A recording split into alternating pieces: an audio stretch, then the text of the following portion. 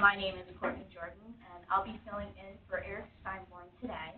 We're also recording today's meeting if you'd like to check it out later. So, some really cool news. Uh, Tom Atkins, would you stand for us? We have to hear Tom. Tom, who is part of Tom was part of New York State ITS WebNY, made a Drupal 8 core commit. So let's give him a round of applause because that's pretty awesome. So Tom participated in on Friday in New Orleans after DrupalCon. So if you go to DrupalCon, you too can be like Tom. You could have the chance to be a core contributor and have your name go down in history. So Awesome. Uh, another cool piece of news, um, our very own Greg Marshall, who's part of New York State ITS WebNY, wrote a really cool book on mastering Drupal 8 views. We have some uh, really cool cards up front and on the side, and we can provide information um, in a follow-up email if you'd like to find out some more information. Um, it's called Mastering Drupal 8 Views, and it's really cool. So check it out. So for this month, we have two awesome presenters. Uh, Jeff, is it Geralt? Geralt. Geralt. Geralt and Meredith Case. Jeff is a technical lead for the Office of New York State Comptroller, and he'll be starting us off with Drupal Beginner's Corner. And then followed by Meredith Case, who is a designer and developer for the New York State ITS at WebNY, and she'll be sharing an intro to Drupal 8 theming. So without further ado, here's Jeff.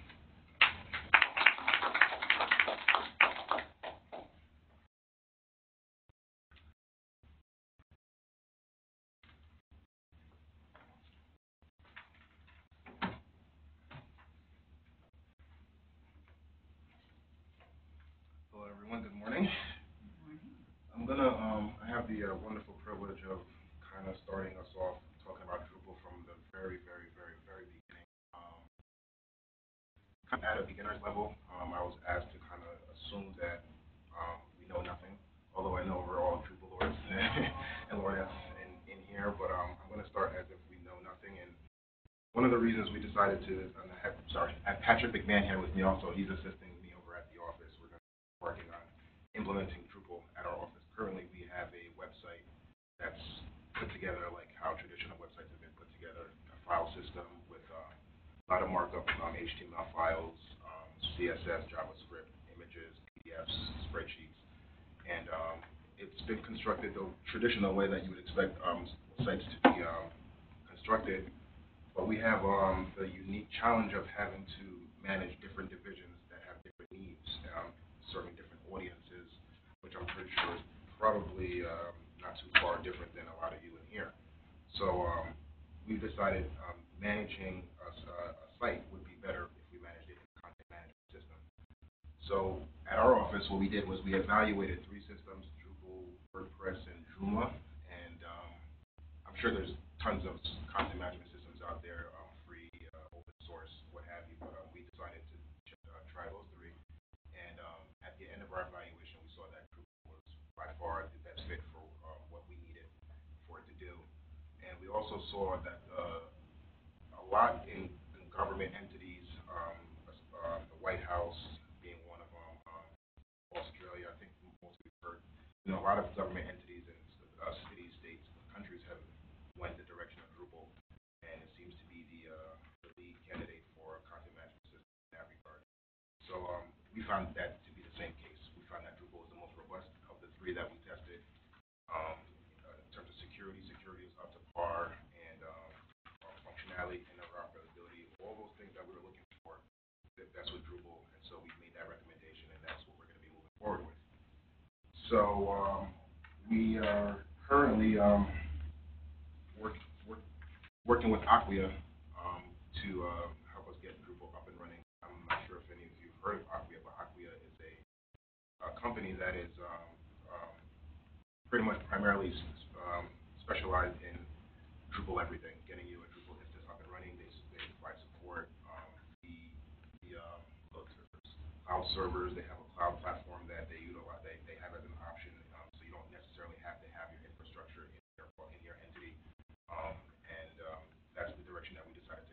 currently in talks with Acquia, and um, that's where we currently are. Um, so with that, I'm going to kind of start off with the uh, Drupal basics. Um, we're going to assume that um, that you've already installed Drupal. I have a fresh Drupal uh, install that I downloaded last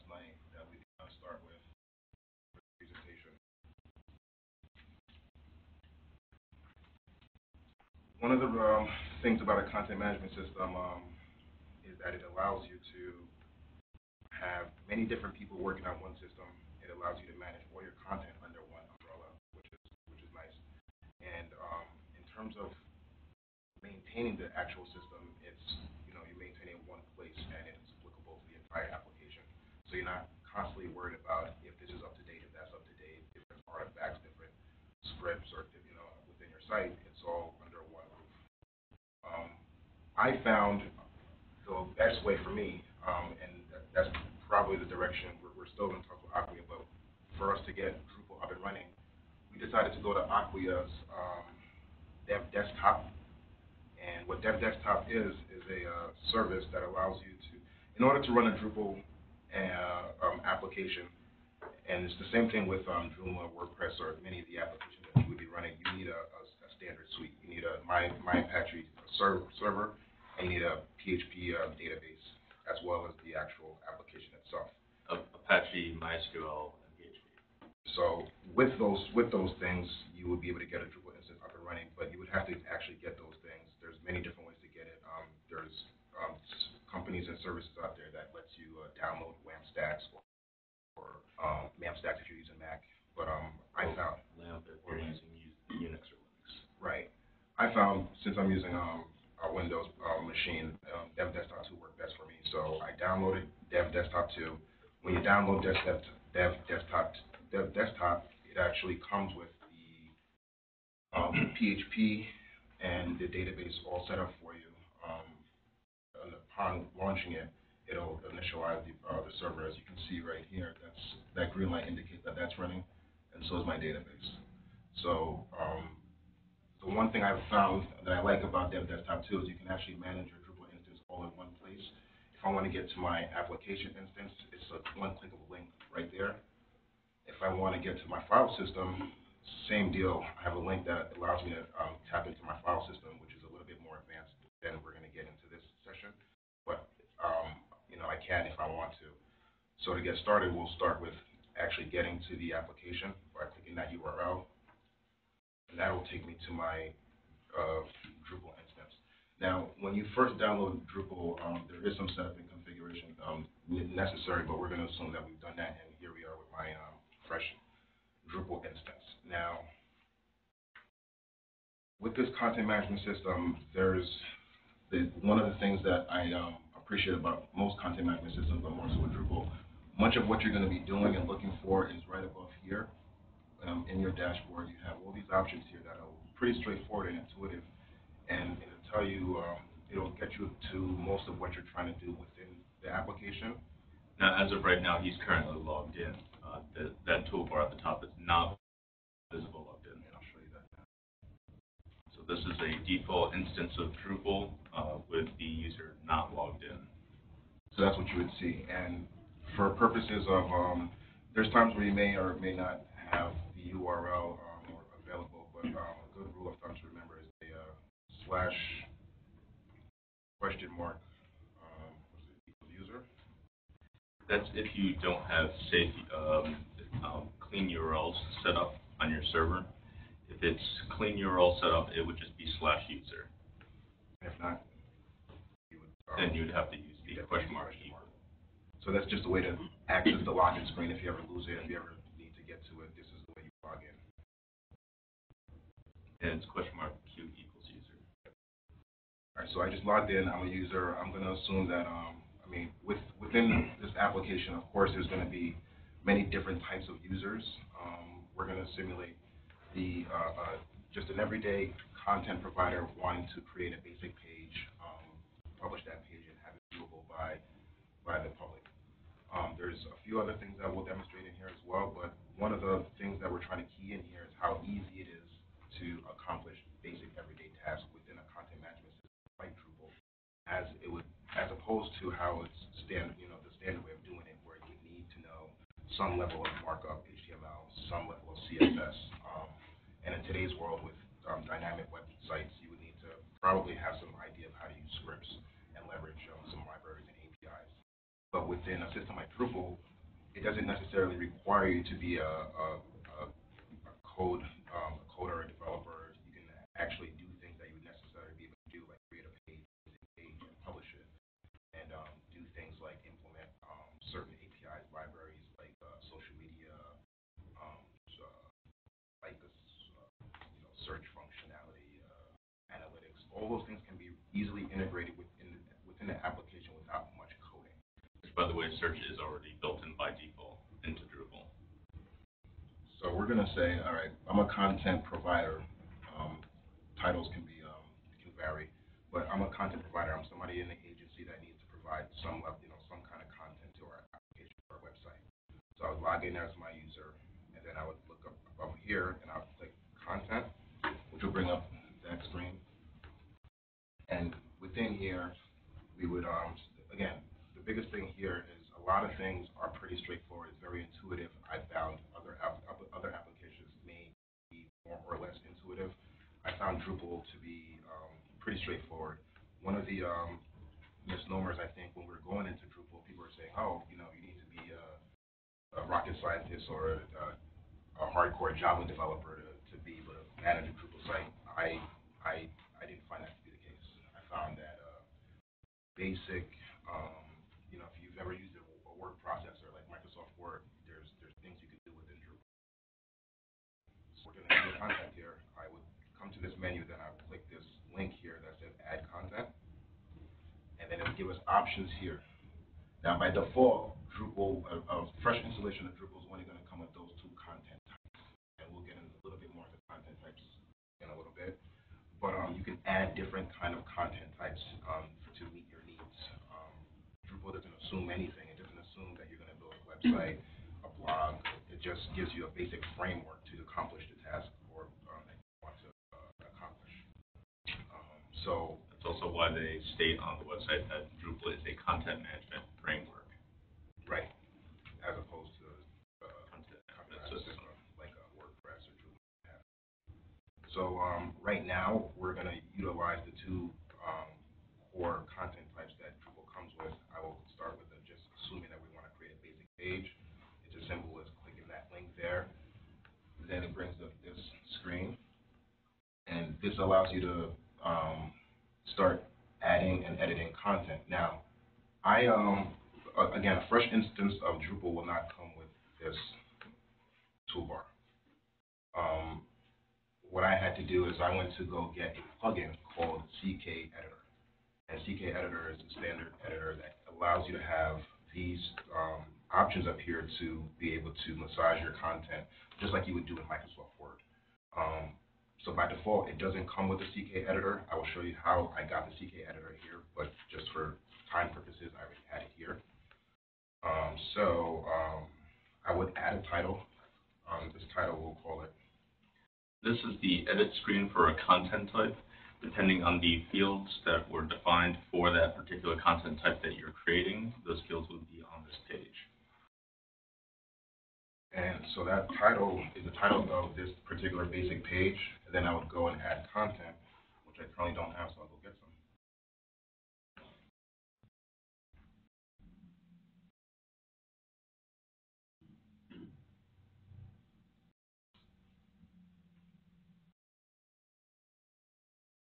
All right, so I just added some basic content, um, why not have two paragraphs? But again, um, this is no different, uh, very similar, I would say, to using Microsoft Word. I just grab content from a, a, website or some generator, or whatever, and I copied and pasted that right into the body section of that, um, editor. And again, like, um, you know, just like in, um, Word, I can do things like bold, um, you know, text. I can, um, italicize things if I need, you know, italicize things, does recognize short keys. Short keys.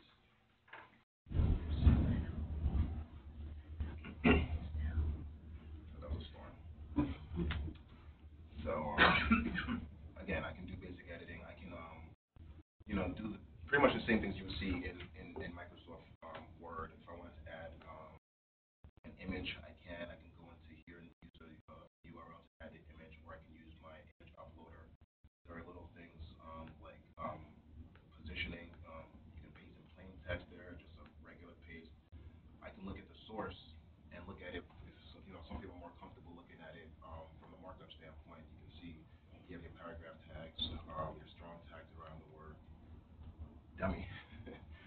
um, so now we're looking at it from a plain text standpoint. I click here, and it'll bring me right back to the, uh, the editor as it was prior to that stamp. So I add my content there, however much I want to add, um, and I will then proceed to um, seeing what I do after my content is added and I'm comfortable with what I have. I have my title, I have my content, I want an image, whatever the case is. Now we want to know um, about publishing options.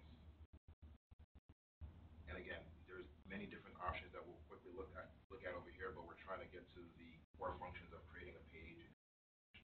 Now, by default, this, this uh, checkbox will be checked, which is published, which means when I go down here and save it, this particular page will have a title and that content, and it will be published.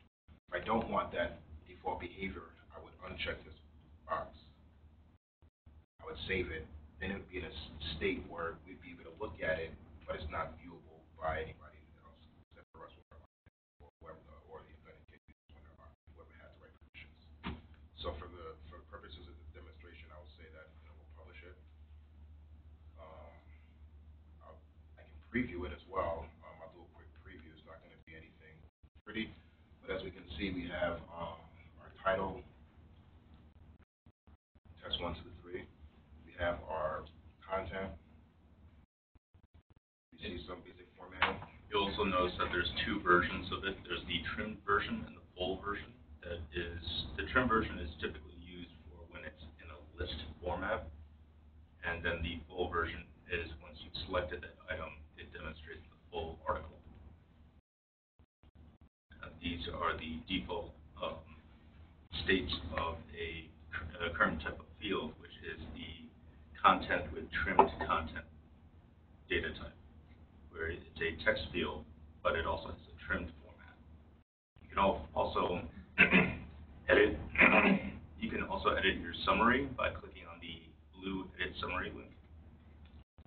And you can manually override the default option for the trimmed version of your content type.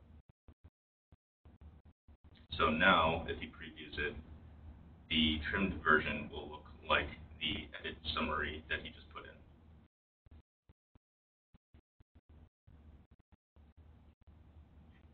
So again, we're pretty much just, you know, um, modifying content, I think. So, um, we're, create a, a, a basic page for, for lack of, uh, more exciting purposes. Now, when I went, uh, I'll show you how I did that actually. So, um, again, when I clicked out of that menu that you just saw, I have my options still visible over here. When I click back on content, I'll see all the content that's been created, um, in a list right here. Now, right now, we only have one page. If I created another page, you'd see it in this list right here. What this row allows you to do is actually look at the page. If I click it, it gets to the page itself. and you can edit it right from the tab. Simply by that tab, I had access to the editor, right where the content is, and I'm right back to being able to modify this in any way that I want.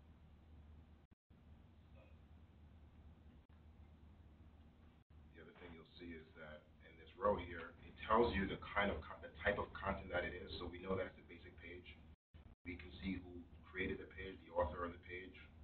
We can also see the status, which is important. You can see if it's public published, the state of the page, or the actual um, type of content, in this case is a basic page. The last time it was updated, and then you have your column here, which is operations, which allows you to either delete the content that you just created, which we don't want to do, or we can edit it, which often you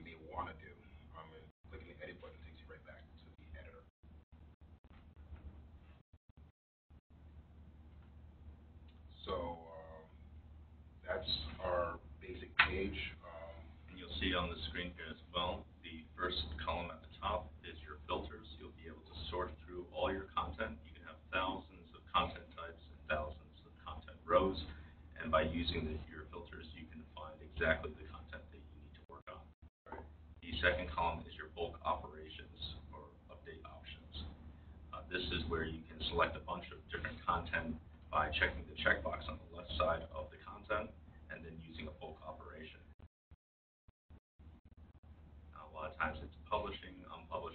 Unpublishing, deleting, and many other items that you would need to do on any content pieces at, at the same time. You can also have, there's another tab over here, quickly go into, if you were allowing comments, this is where you would manage your comments for that particular con, uh, content that you create as well. Now, often, we're not gonna have, um, we don't see a need for that ourselves, but you, your entities may see a need for comments, we, we'd rather not have, um, that field, um, visible, so we, we're gonna disable that for ourselves. That's the basic way of creating content. Again, we only had two content types here, um, when we wanted to add content. We only had a, um, a basic page and an article. Articles would be the same, relatively the same thing. We'd have a title field. Now, with, because it's an article, we can add tags to it. Um, we can get into tagging if we wanted to. If we had a, uh, you know, uh, an article about fiscal, fiscal stress, which is something that we, Cindy would appreciate that. We can hashtag, uh, we can put a hash here, um, tag it and have that, um, comma separated so we can have more than one tag over here. We can add content here with our basic editor to do the same thing. We can add media, we can format, we can, um, find things, center, right, so forth and so on. Just like we saw with the basic page. And the tags don't need hashes, uh, but you can if you wanted to. Now, um, before we move on to, to, um, the next thing, does anybody have any questions on just basic page, creating a basic page, editing it, publishing it, formatting? We'll just continue and keep going. So, um, next thing that we're gonna move into is, um, how simple it is to create a user, um, manage a user, um, look at roles and permissions within a, a framework like this again, within, um, the tradition, in a traditional standpoint, you have a, a site like we have it now, roles and permissions are managed, um, in many different ways, but within a content management system, it's in one place. Um, you, there's a, uh, button here, a link here, that says people, which is pretty intuitive. You would think that, um, that's where you would go to manage users. So we click, um, up our screen here where we can now add a user or manage a user. And much like the content page, uh, you also have three sections here, the filter section, the bulk operations section, and the list of users. So right now, we have one user. Again, I just downloaded this instance of Drupal last night, so I'm viewing a user in the system. Um, if I wanted to manage myself, I would click edit. Um. What I can do here is I have a username that I can edit, you know, password, email, change a password here. I can change the status, whether I'm an active user or blocked user for some reason, if you need to block a user, do that.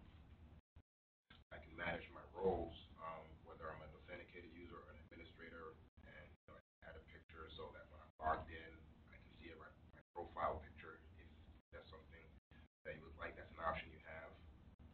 And under the roles section, it's going to list every role that you've defined. Uh, the Drupal instance does come by default with those two different but you can make other roles as we will be demonstrating shortly here. So I'm gonna click out of here and just kind of go back to the basic creation of a user. I'll go up here, top left, click on people, and then I want, if I want to add a user, I will come in here and I click add user. Very intuitive, very straightforward. And this is, I think, this is all out of the box, Drupal four, um, nothing special going on here. I clicked on, um, add user, allows me to do now is to add a user, so I'll give that user a name. I'll give, um, um, I would have that user's email address, I'll use my email address for the purposes of the demonstration. I would, uh, set up a default password, um, something that you don't care too much about, that you can give every user, or however many users you have, that they can change later, so for the purpose of the demonstration, I'll say summer two, three, four. Very secure password.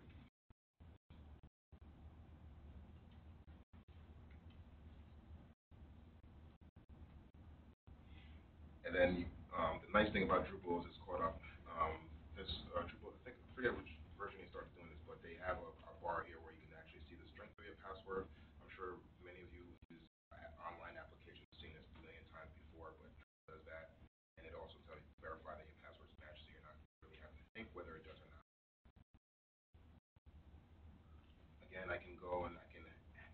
adding this user, I can have it as an active user or a blocked user. Being that I'm creating a brand new user, I would, I would have that user active.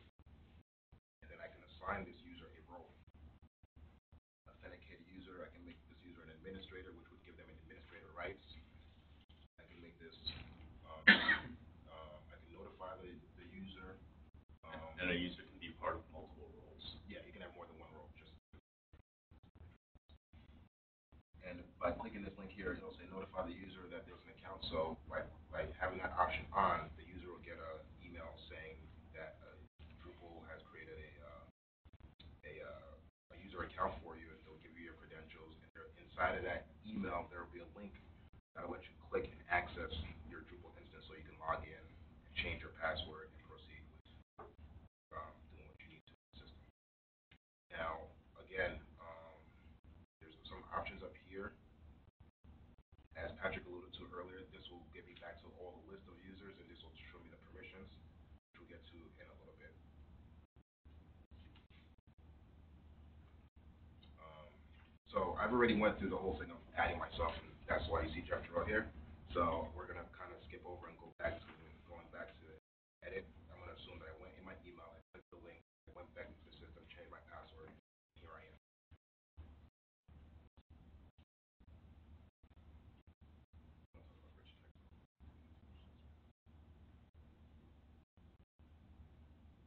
Now, in here, we have some shortcuts, you can, um, do some things here, uh, uh, create a, a new set, or choose a default set of shortcuts to use. Right now, I'm just leaving that as is. This is more advanced stuff. This is more, yeah, this is kind of getting further into user management options. These are just more uh, personal configurations. Uh, At this moment in time, basically, you would only need to focus on creating users, editing users, and permissions. Now, this screen here lets you manage permissions. The, you have three columns here to your right. You have an anonymous user, you have your authenticated user, and you have an administrator user. Those are the three types of users that Drupal comes with by default. You can add different kind of users as you see fit. Um, as you go down these columns here, can talk about some of these things. You'll see what you're allowing your users to do, um, by looking at the column and then the corresponding rows. So if we're talking, if we want to see what a, a particular user can do for a block, or for, you know, within a CK editor, commenting, or contextual links, so forth and so on. We have our dashboard. There's just different things that a user can or cannot do within a system. And by checking or unchecking these options in these columns as they correspond to these rows, you'll be able to give or take away permissions for type of, For role. or, I'm sorry, for role, sorry. There's things you can do with nodes. I mean, there's tons of, tons of options here that you may or may not want a role to have, but all that is managed here. And if we added a different type of role, we would see another column here for that role, and then you could manage that permission for that particular role, just the same way, all within one place. Along with, as you add content types, there'll be new options in your permission list that will allow you to give those permissions to a particular role. For instance, if you created a custom content type called test, then you would have options for creating test content, editing test content, deleting test content, along with also editing, deleting, and viewing of content that other users have created. So for every content type you've created, you'll also have correlating content type permissions. So that's pretty much user management, roles and permissions, again, is managed pretty simply. I'll also show them how to make a role. Oh, let's go into that, all right, so So you select the permissions tab, and you'll see a subsection of permissions and roles. If you select roles, you'll now have the option, a list of all the current existing roles. To create a new role, you simply give it a name and hit add role.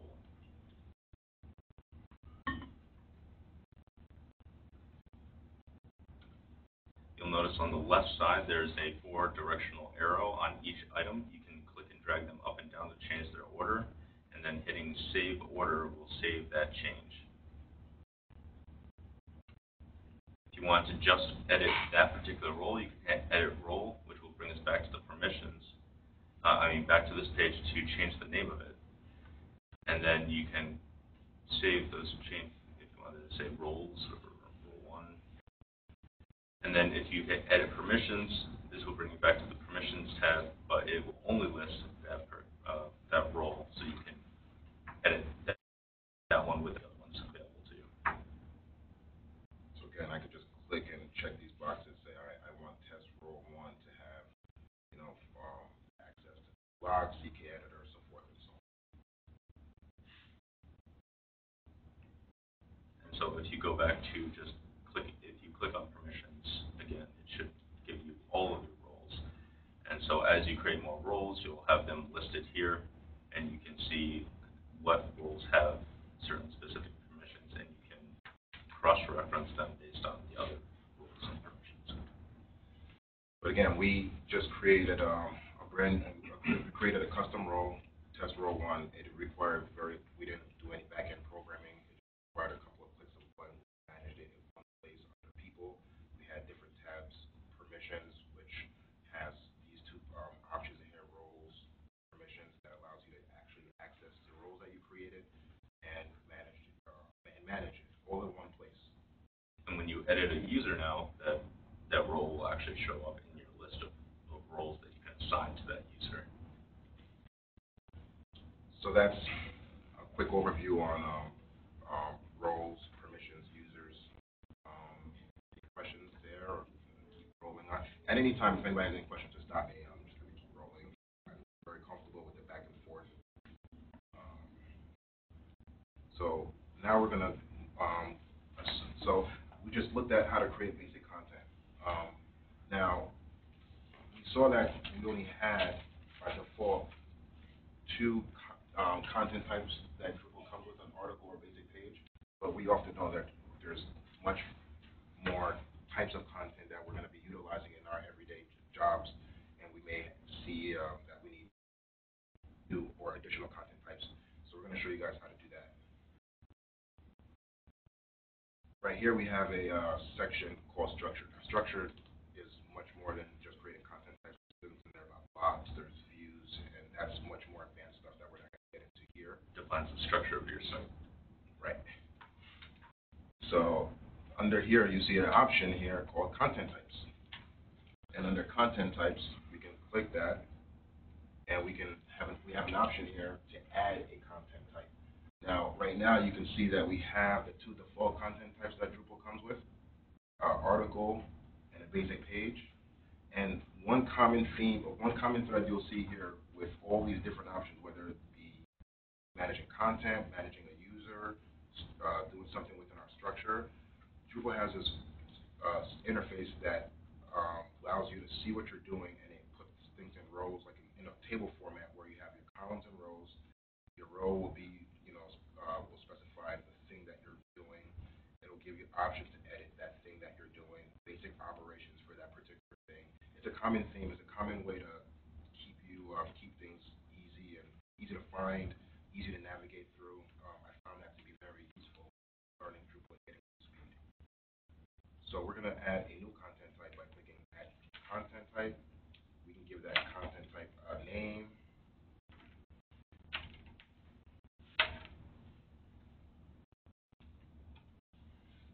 Um, that name will appear when you look at it. We can give it a description. And, um, as we scroll down, we'll see that there's many more options that we can associate with type of content. For instance, we can give this, uh, title field a label. Um, right now, I'll just leave it for, for all purposes, I'll just give it, uh, leave it as title. We have preview, um, before submitting options. Um, that's optional, you can disable that, you can make it required but that's all within this, um, option tool right here, submissions from settings. You have publishing options, you have display options, commenting, menu settings. So here you'll have your different uh, publishing options. You can make it by default be publish checked at the time that you start making content, promote to front page. Uh, When that is checked, allows your content to be displayed on the front page once it's saved and published. And then stick to top, uh, you can have multiple content types listed on the front page. Stick to top pushes it to the higher level. It would basically give it a lighter weight, which brings it to the top of the list. And create new revision. If you have that checked, it will automatically create a revision every time you hit save.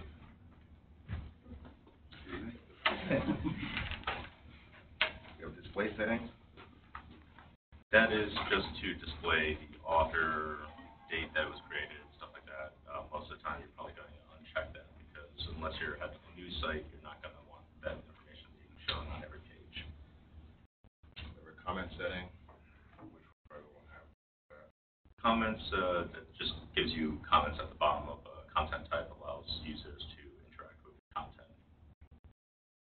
Menu, Everything here will add the content to a menu, which under structure, you can create new menus. And you can then assign that content to a menu by default if you want, for instance, uh, test content to always show, uh, always be added to the main menu. You would have the main menu box, checkbox checked, and you can even define a subsection of main menu in the drop-down below. So then, when we're happy with our select, we click on Save Content Type, or we can click on Save and Add Fields, Which is more like. which is more likely what you're gonna do. You probably wanna manage your fields for that particular content type, so in that case, we're gonna say Save and Add Fields. By default, the content type always has a title, but does not have any fields.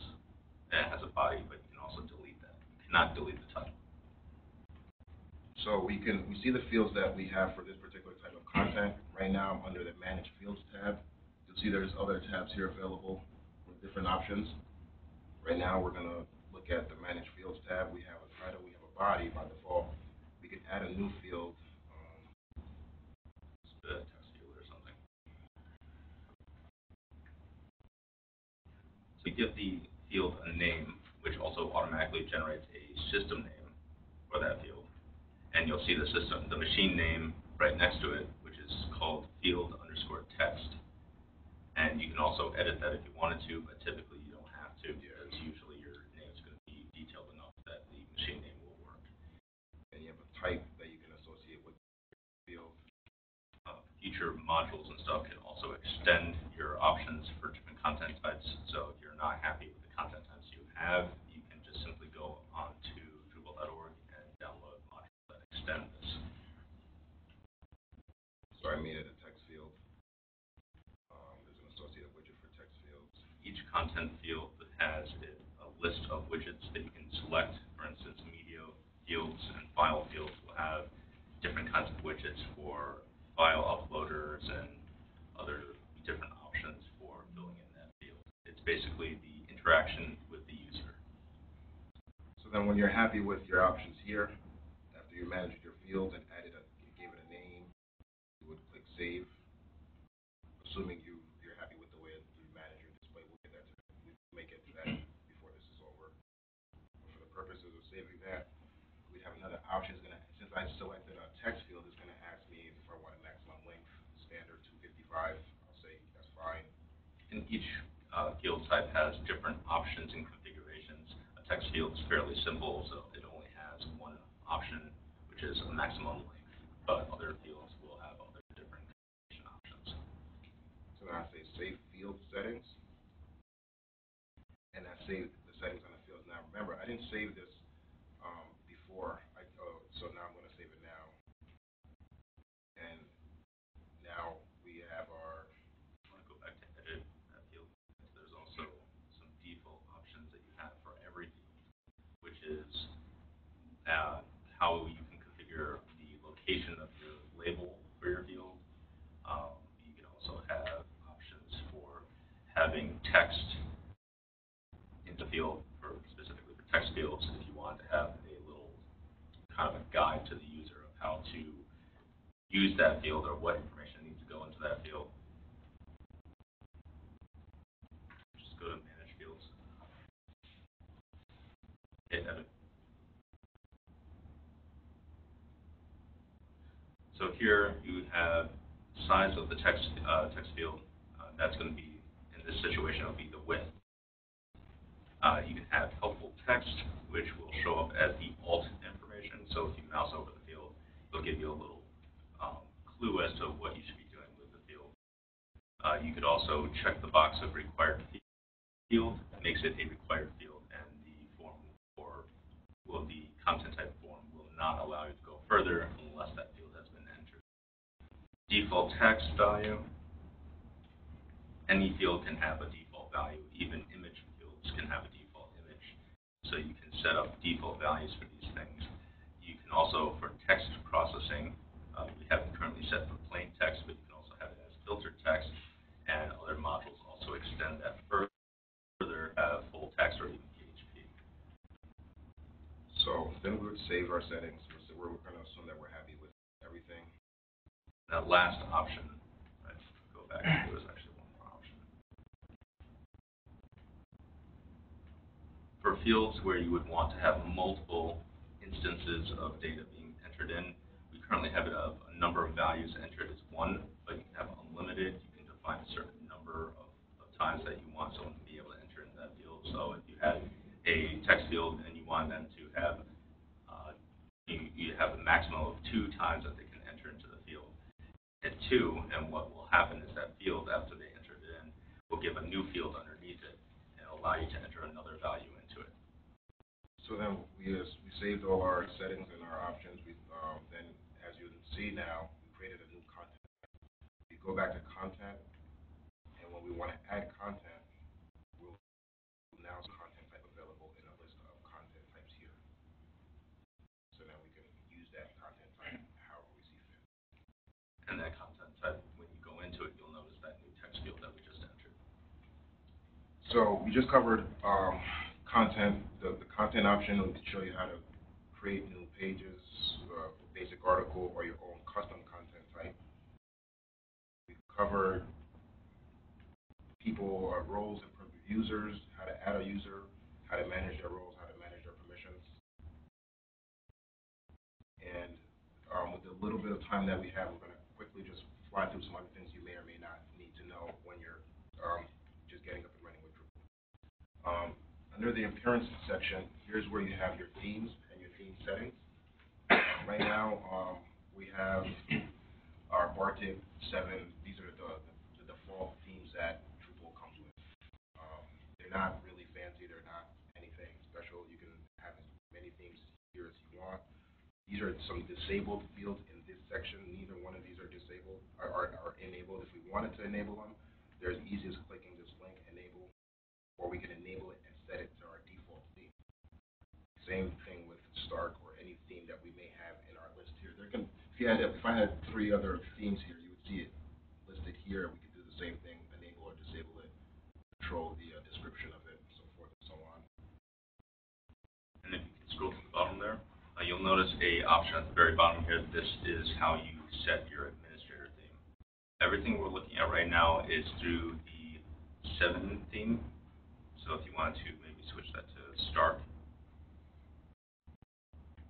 hit save. And now we're using Stark. If you want to switch it to like Bartik or something, it'll be blue.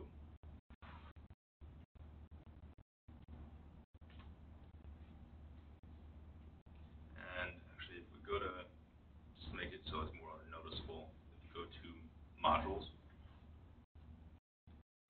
And this is a recommendation also to, uh, disable certain content type, uh, certain modules here. There's gonna be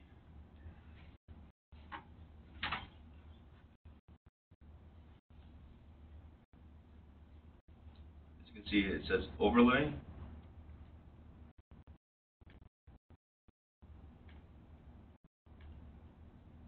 And now we've gotten rid of the annoying overlay, which is a resource-intensive object. You, you don't need it. So now, as you can see, instead of it hovering over our website, it takes up the entire page. But, but essentially, this is, uh, in terms of our themes, where we want to manage our themes, which themes we want to use, the themes we want as our default themes. Essentially, again, so intuitive, it's so easy to use. You just click appearance, and that'll take you to where you would manage your themes. And again, there's, um, each, within each theme, there are some settings you can manage. Um, I'll quickly, show you this. There's little things like, um, you know, background color, um, And every theme has its own configuration settings. display things you can have, well, you know, there's, you can toggle displays, whether you want your logo to show or not, site name, so forth and so on. Um, and you can save, you, you save that configuration and that would be applied to that particular appearance for that theme that you're, that you just, uh, assign that to. Um, again, this is where you would do your theme management, there's more advanced stuff that you can do here, but that'll, that'll be for another, uh, presentation. Uh, Set the administrator thing back to seven, just so that we can continue with a similar look and feel for everyone. Um, another thing you may want to, well, that you may or may, depending on your role, you may or may not want to do, you may find the need to extend Drupal's core functionality. You may find a need to, something that Drupal doesn't currently have. So that may require you to go get a module or a plugin. Where you would do that is this option here, modules, will bring up this screen here. This will show you all the modules that you currently have. These are all Drupal's core modules, everything except for my CK editor, which I added last night. Um, so I, last night I found that I needed a, a uh, to extend the core functions because I didn't have an editor when I was modifying my content. So I went to Drupal.org. Um,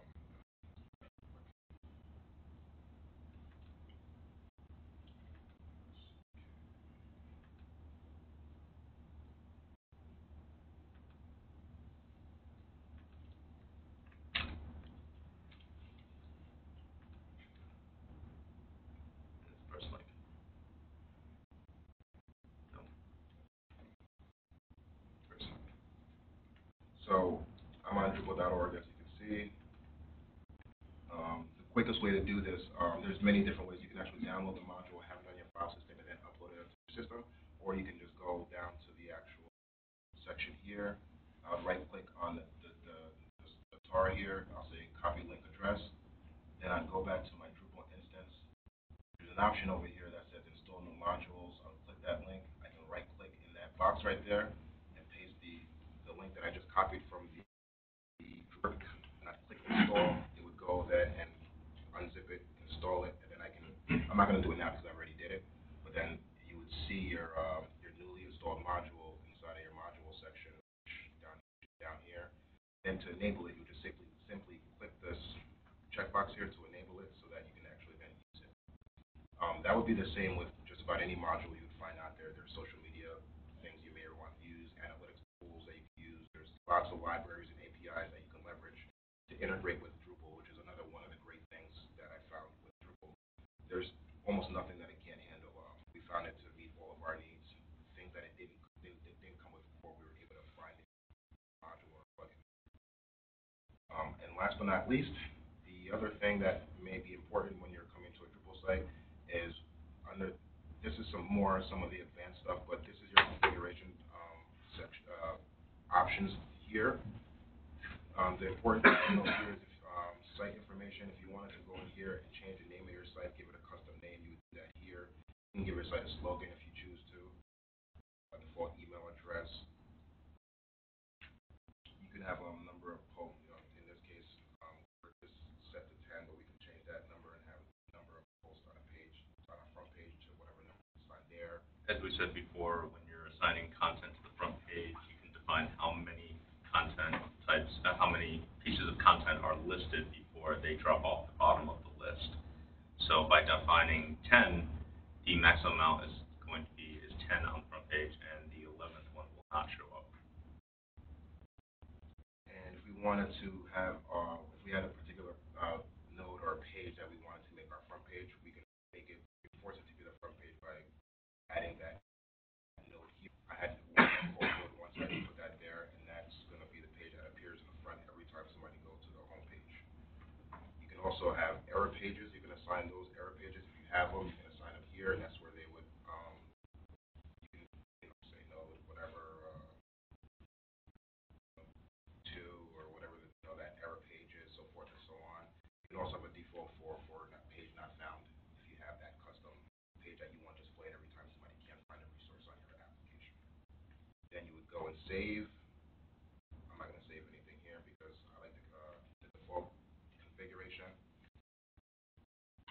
Those options are available in site information.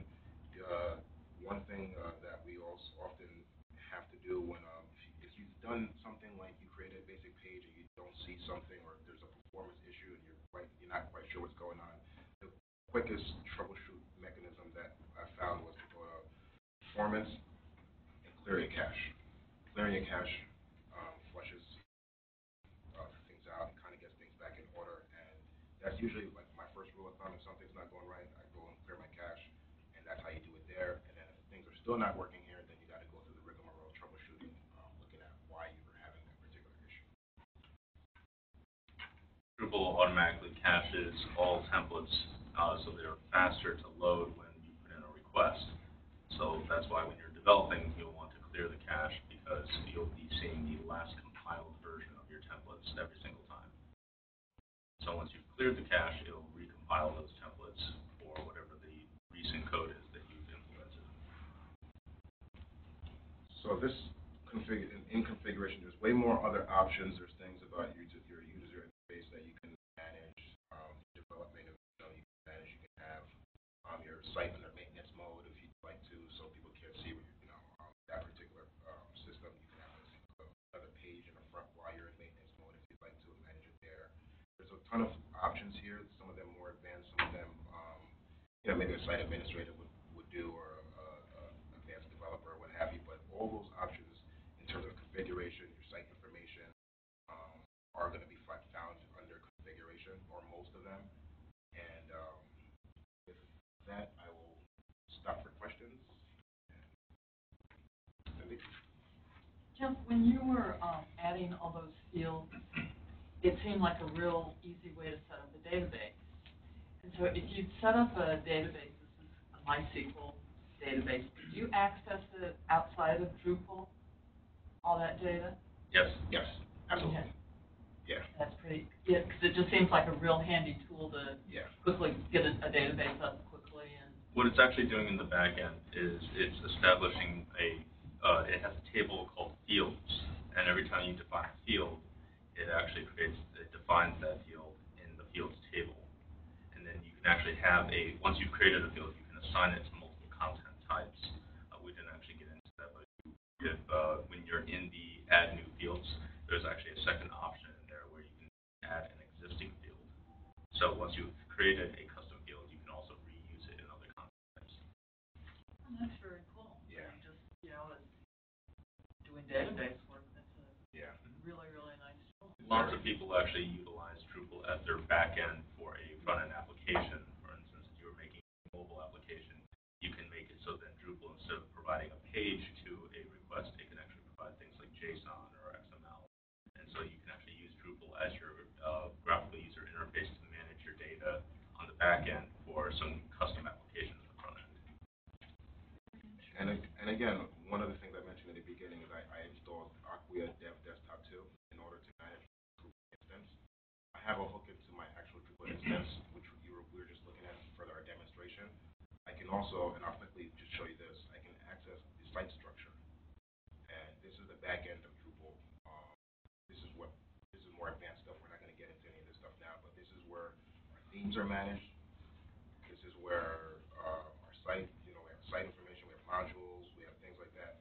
They encourage you, if you're gonna do anything, um, in here, they encourage you to make a copy. Always make a copy of your theme, work off the copy, make a copy of the site, work off the, uh, the site copy, never work in the actual default one. This is Drupal seven, so everything you'll be doing is actually under the sites folder. You will be editing anything outside of the sites folder because that is technically core. And the rule of thumb with Drupal is do not. And the reason I came back over here to just Dev Desktop 2 is to also show you that you can actually manage your database. Oh, cool. Come right in here and your database is right here for you.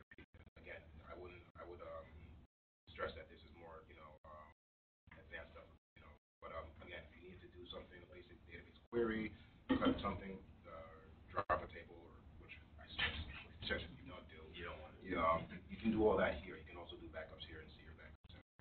But you have a, with Dev Desktop 2, I found that to be very, very useful, that I can just go to one place and with one click of a button, access what I want. The backend system, um, the actual application or the database. And if you are editing the database, it is uh, recommended to just use Drush. Oh, um, I wanted to get into Drush today. Eric Strong suggested that I didn't. I advanced, so- uh, and I, I- from what I understand, he covered it last month, I think, or whatever the case is. I would say this, um, Drush is a very, very useful. Um, we won't get into it today, but it's a, it's a handy tool that lets you do a lot of what you just saw me doing on the application end. I could have did a lot of that through a command line tool like Drush. I could have managed my user. I can do things like site updates. I can do uh, cron jobs all within one place with Drush. If you're more familiar with command line, then Drush is an option that you would want to utilize. With that, um, I will conclude this beginner's presentation. I wish I can get to some of the more advanced stuff, but maybe another time.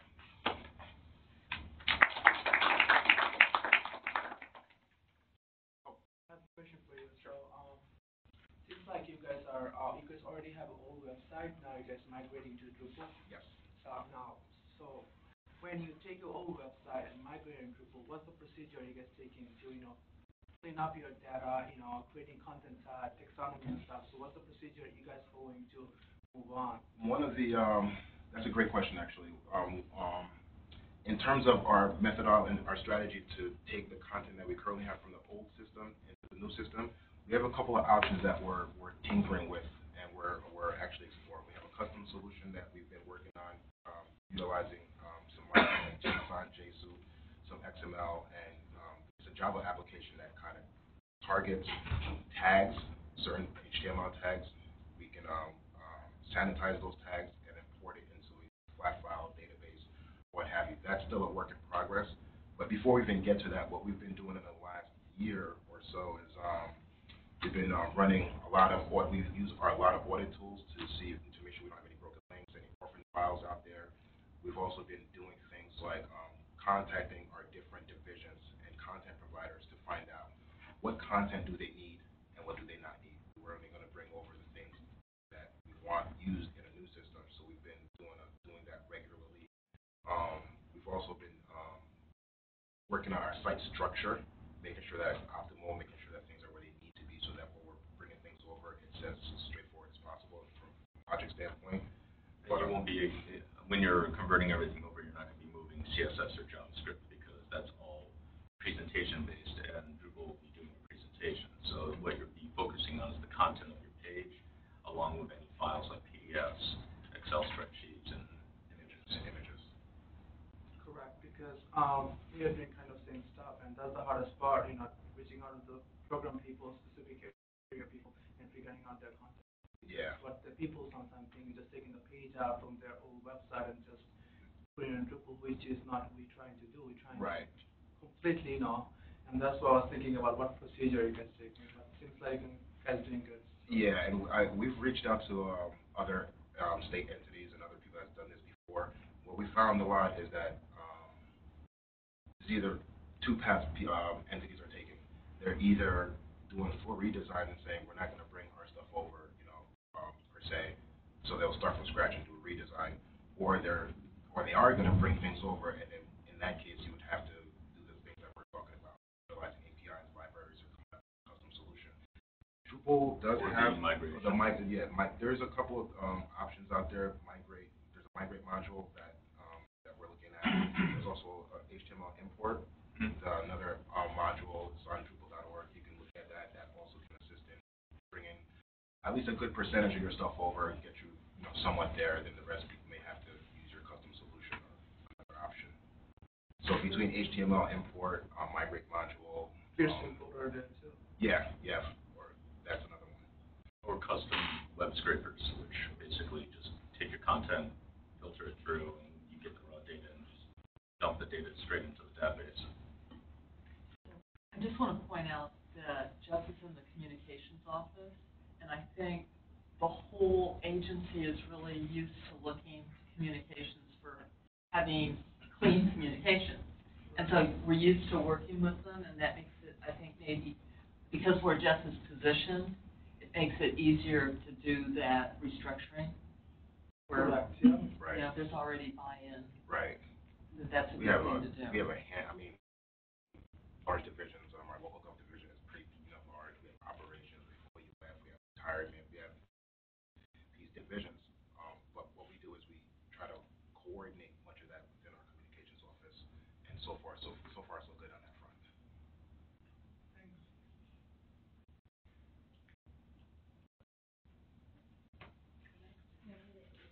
No.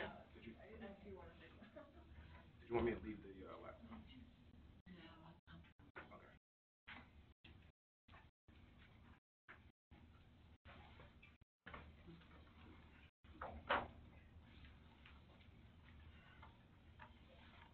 Anyone wants to move around and get a quick trip outside or anything, feel free. A minute. Turn up.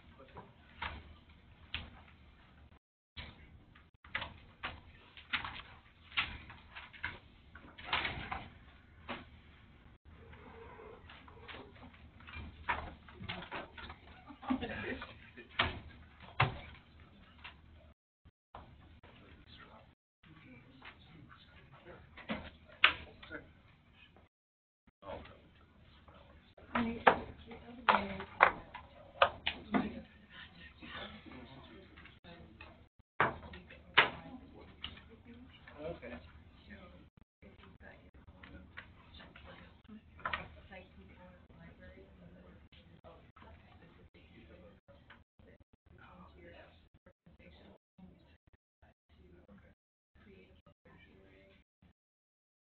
Gotcha. That's interesting. I should have enough juice. That will be done early. That is kinda cool. And normal. Yeah, yeah, yeah. We'll see, you know. Yeah, we'll see how. It's like Wild West, right? Yeah. I get frustrated over all the, like, the reinvention of all this stuff. Right, right. Like, you and I have both been doing this long enough.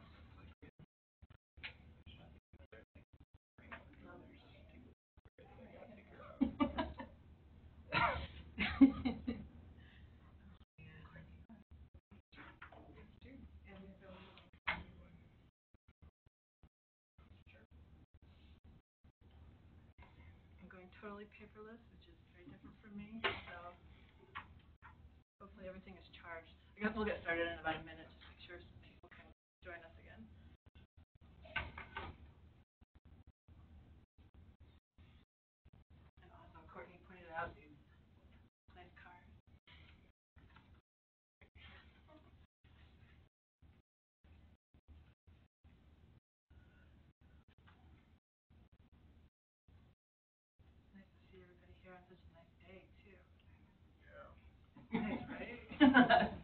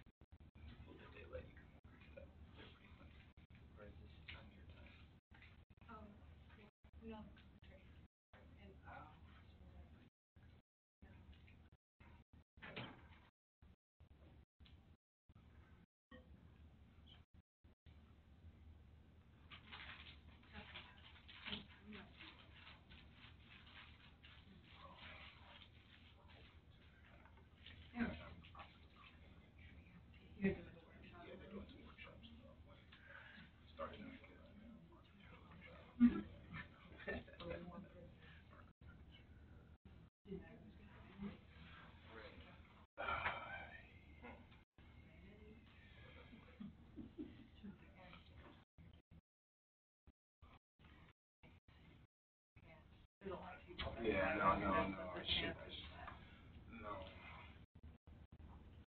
We actually just added the iFi. Yeah, they added two weeks ago. Um,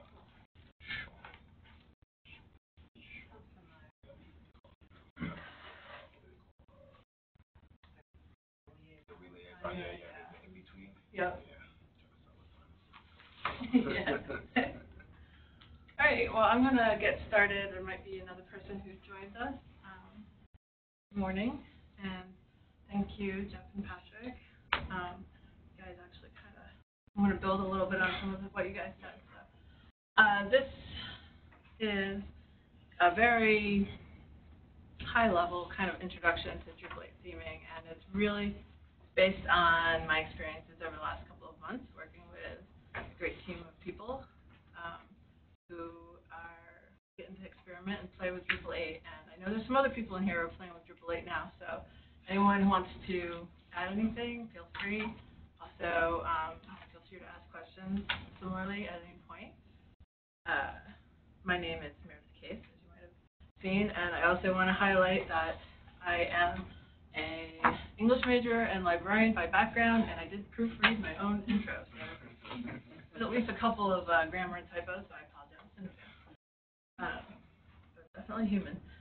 So, first of all, what do, just to kind of set the stage, what do people think of when they think of theming in relation to Drupal or otherwise? Anyone willing to share what theming is to them? Yeah, so, um, HTML templates, CSS, JavaScript, a little bit of JavaScript, and then Sass. Yeah. Thanks. Courtney, I saw your hand. Great minds, you know. I just want anything. Anyone wants to? How, how are you gonna present your website? Yeah. The presentation, the presentation layer, right? Good old. Sometimes you're working from a Photoshop file or maybe wireframes. It's your interpretation of what is needed to create that interaction layer with uh, the, with visitors and such, and also with your content authors. Um, that's part of it too. So I also kind of see it kind of, especially in the Drupal world, it kind of leads into site building, sometimes what you would call like how you choose to put things together. So we're going to kind of touch on a few things related to that. So first of all, theming in general, we probably, if you work with theming, you have some different tools, methodologies you like. Um, but how does that apply in the world of Drupal 8? How is Drupal 8 maybe different from Drupal 7? So what can you kind of, some background um, that can help you get ready for working with Drupal 8?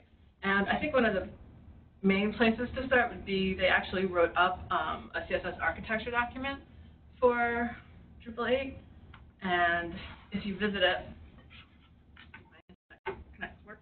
Um, it's got a lot of the lot of the theories and fundamentals that are becoming popular or have been popular in working with front end development. Um, you know, working with CSS, keep your selectors kind of realistic. Let's not have that beyond like five selectors thing. Um, don't rely too much um, on specific uh, classes to the Drupal world um, and such. You know, you want to kind of keep it component based, things that can be reused, uh, keep it scalable. So those are just a lot of the good CSS, good theming front end fundamentals that they really tried to take to heart when working on Drupal 8. And Drupal 8 theming is really a reimagining of uh, the theming layer for Drupal. So it's kind of exciting and it's kind of weird. Uh, but it's uh, it's a it's great because it's also reaching out. You you'll hear in Drupal world that we're on the island. Get off the island. Has anyone heard that? Get off the island. People shot nodding their head. It's basically Drupal has kind of been its own little world. It's got its Drupalisms. It's got um, theories, implementation that are become very Drupal specific. With Drupal 8, they're trying to get away from that. Um, and in theming, that's one of the areas. So things like using SMACSS, people heard of that? Um, it's a it's a theory of um, scalable and modular modular architecture of CSS. Uh, it's it's that components idea, and also naming conventions using them like block element modifier. So you really you're working um, based on components and such. So let's let's let's get into actually looking at a little bit of that.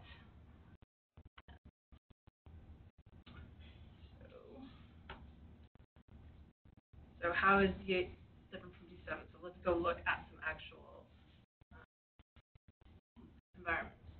I will that. So I, similar to Jeff, am using uh, Dev Desktop. Dev Desktop is a great environment to get up and running. You basically download it and you have an environment on your computer, Mac, PC, and you're ready to go. Um, the great thing about it also, let me bring it up,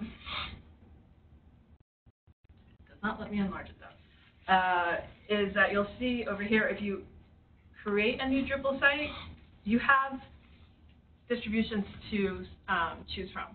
So you can choose Drupal 7, as Jeff and Patrick did.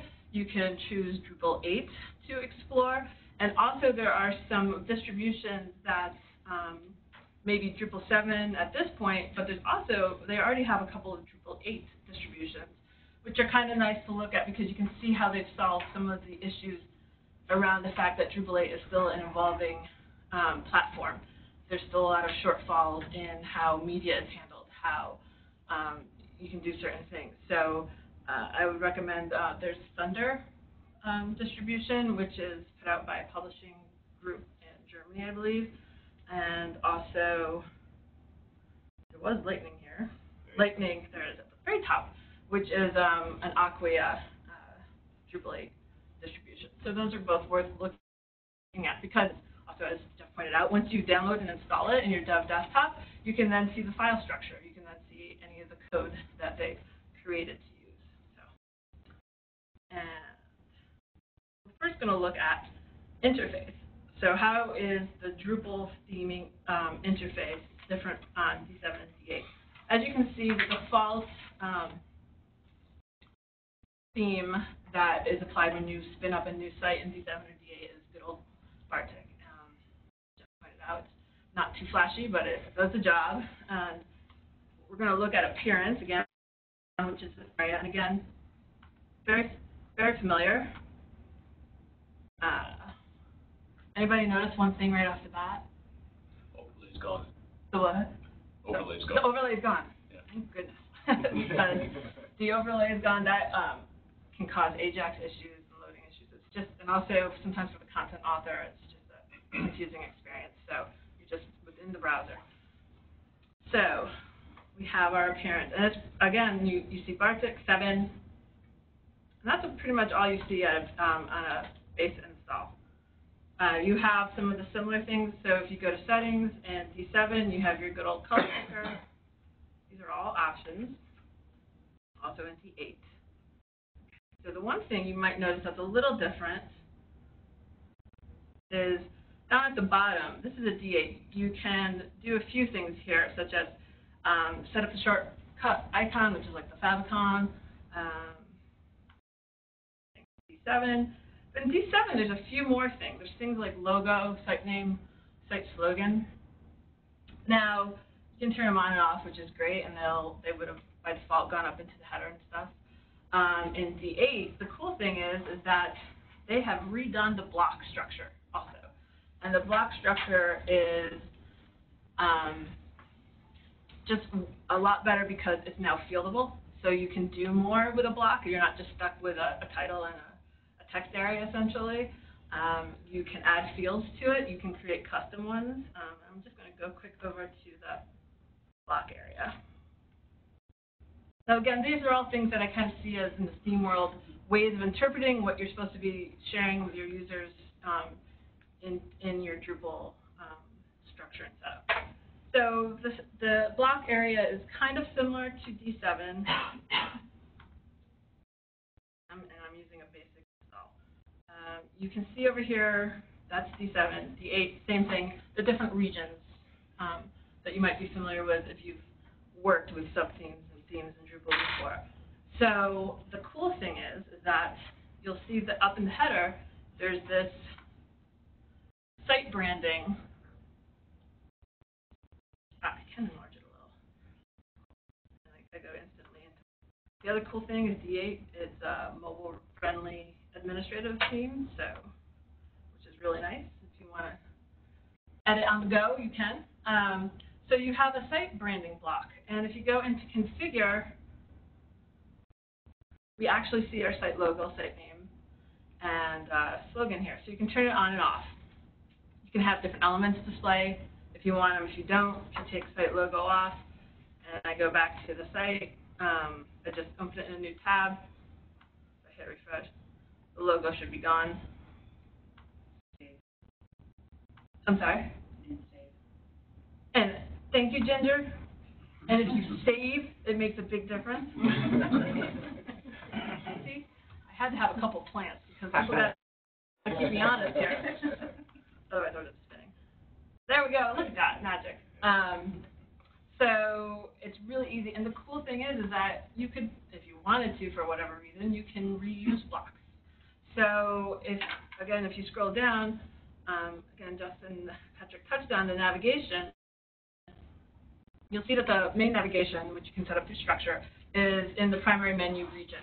Um, what if you wanted it someplace else? Before you would have had to create a custom block. It was kind of it was kind of a painful process, but if for some reason you actually wanted to put it, let's say in a sidebar, you can um, actually go down and see that, oh look, there's, you can put another instance of it in. So the block um, interface has just been expanded. It's, it's um, got a lot of uh, great features that you might want to take into consideration when creating your um, user interface.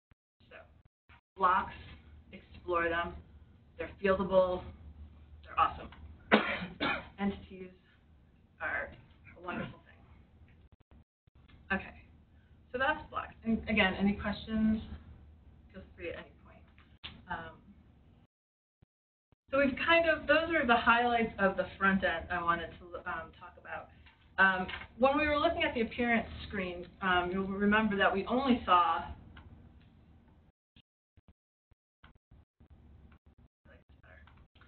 um, in eight, we only saw Bartik and seven, seven being the administrative theme.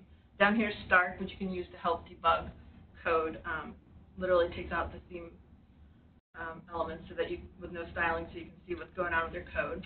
So, is that all we get? I mean, that's Bartik's great, but you know, what what do we do if I want to create my own custom theme? Um, so if you actually look at code base, and I'm just going to my dev desktop and clicking the link.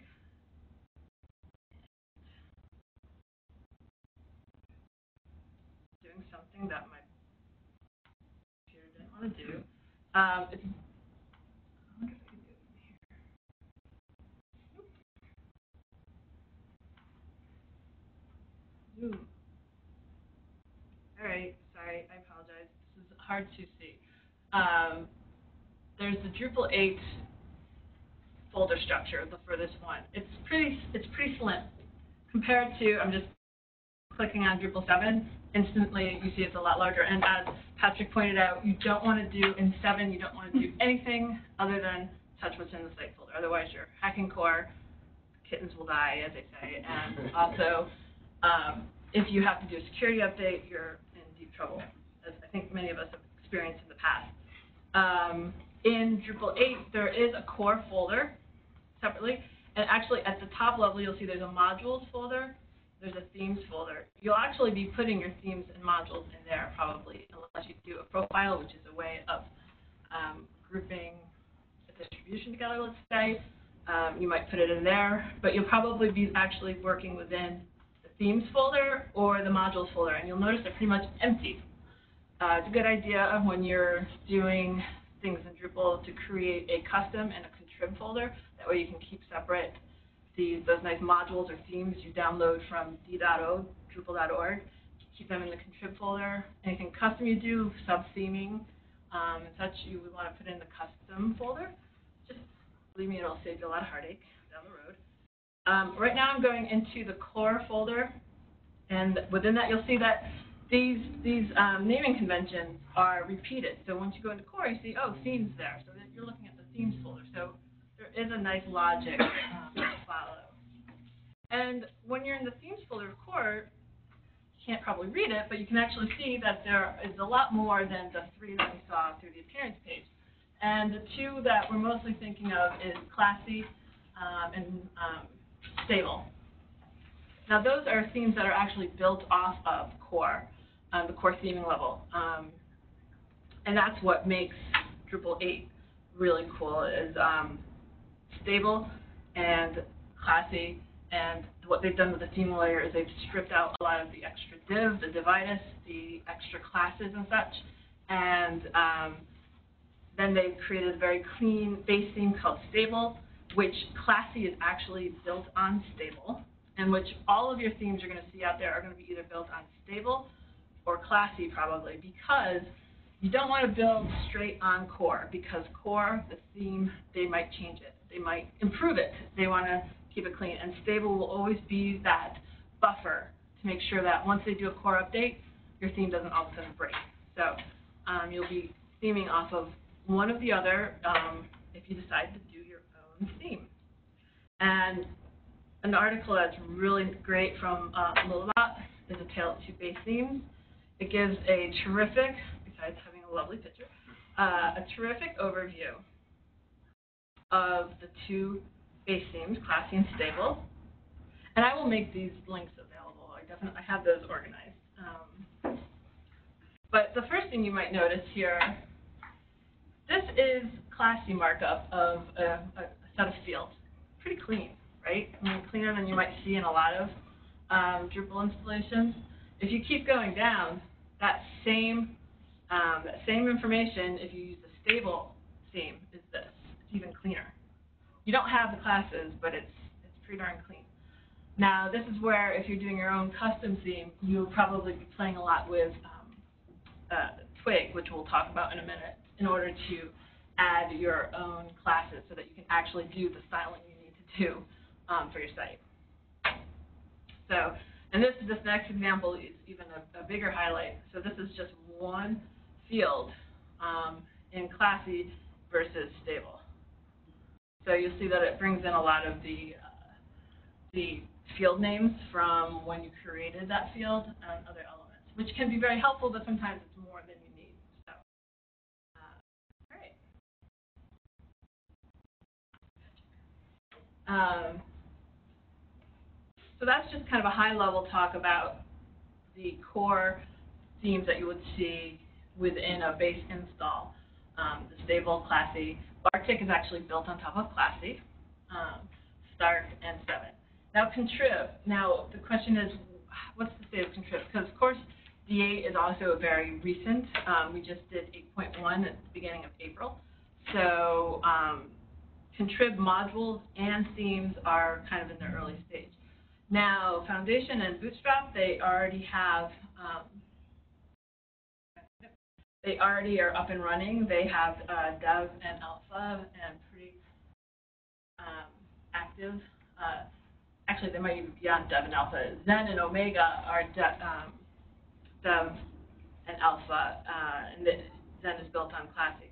Now, Foundation and Bootstrap, um, they might be frameworks you're familiar with, Zurb um, or Bootstrap Foundation from and you might love them. And the cool thing about um, the very clean markup of classy and or stable is that it's very uh, amenable to taking those frameworks and implementing them. So that's why these those themes were up and running early, and you can also do that with other frameworks if you really like them. Um, the other thing about contrib modules, um, Zen and Omega, they have, Zen uses a special framework, um, layout grid that you might like. Uh, Omega, um, people really like the, they do a lot with the interface sometimes with the current developer. so those might be things that sell those themes for you. Uh, but the cool thing about core, to go back to core and stable and classy, is that they've cleaned so many of the things that made theming in Drupal hard before. Um, there's a temp the template system is a little bit more straightforward. It's a little easier to um, to control the element and the output to the screen as you as you want it. So you might want to consider doing your own your own custom theme, which is what we're doing. Um, so what goes into uh, a Drupal theme? We already looked at blocks. We saw the region, so we're actually, let's look at, go back at the, uh, go back into the folder structure and look at what what makes up a, uh, a theme. I'm going to go back to core and look at Bartik because that's built on top of Classy. Now, within here, you might not be able to read it, but there's um, several elements that you'll see in pretty much everything. What you definitely need is the info file. People might be familiar with the info file from D7. It's now an info.yaml file. YAML is YAML. Uh, what does it stand for? YAML is not markup language, um, or YAML is markup language. It's a self-referential name. Eight. What? YAML 8. YAML 8. YAML 8 YAML ain't markup language. Thank you. I knew it was something ain't markup language. So it's used by Symfony, which is the PHP framework which is being used in Drupal 8. So all of these um, technologies relate to each other. Symfony is how is the basis of the PHP framework for Drupal 8. Twig is a um, templating en engine that is um, often tied to Symfony, and YAML is also for sharing information. Um, and it's just it's, it's different in what we've been seeing in Drupal 7, and it's part of that getting off the island, getting off of the isolated Drupal 7 world, um, and using more broad, broadly implemented um, technologies. So basically, for a theme, you definitely need um, an info file. This I will enlarge. I can't even read it. I'm standing right over it. And I just typed. So right off the bat, it's very similar to an info file you would have seen in um, Drupal 7, except they use a colon for the, the key value pairing. Um, you need to, again, name it. You need to say what type it is. That's a required um, element now. Uh, base theme, you'll see it's being built on top of Classy. Your description that will appear in the appearance section, um, libraries, and then the regions down here. So you'll see that Bartik has all of these special regions that you can then use to put things like the blocks and such onto the block interface. So you need this info file in order to create um, your theme. Now, libraries, you might be wondering why, what is this here actually? Um, in the past, we used those, those square brackets and such to indicate CSS and stuff. Libraries is another file, a YAML file that you're going to have, probably have in your, your theme. Um, and the great thing about it is that you can, you actually can indicate CSS and JavaScript how you need it, how you use it. jQuery by default in D8 is not loaded on every page. Um, you need to call it if you need it somewhere. And that helps your load times, it helps your usage. You can add other JavaScript. Um, it's really up to you. So this library's um, the YAML file, is where you'll be um, indicating a lot of your CSS and JavaScript. Um, so within your theme folder, you'll probably also have um, a theme file, which kind of essentially takes the place of your template.php file. Um, some themers get into creating those pre-processed things that go, they take a chunk of code and they go through it and they add things to it as you want. Um, you can do that in D8, obviously, and you're going to be doing it in a .theme file. Now, you might not have to because what we're going to talk about next quickly is twig structure. And the twig star structure is basically your templates. And the templates are uh, very easy to look at, to use, um, and they allow you to dig into um, a lot of the, the control you need over your HTML. So the other cool thing that is in code um, is a file called your breakpoints file, YAML breakpoints. Um, so this is where you would indicate your breakpoints, your overall breakpoints for your site, like how you want, what width you want your mobile, your tablet, your desktop, let's say, on. And this can be then used by the Drupal core or any of the contributed modules um, in order to um, have that responsive uh, experience for your end users.